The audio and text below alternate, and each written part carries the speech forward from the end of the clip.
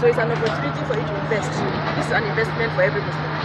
For me, it's, I'm really happy that I came and I've given my own donation. So what's and your I pray prayer?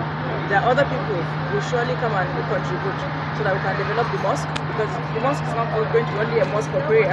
It's going to be an Islamic center where there will be Islamic studies being uh, taught to children and women. And then there's also going to be a place for uh, preparing people when they die before they take them to the grave. So they are going to make it modern and really nice. Uh, we don't like talking about death, but it's inevitable. And uh, we also uh, pray that it will be a venture that will be worthwhile.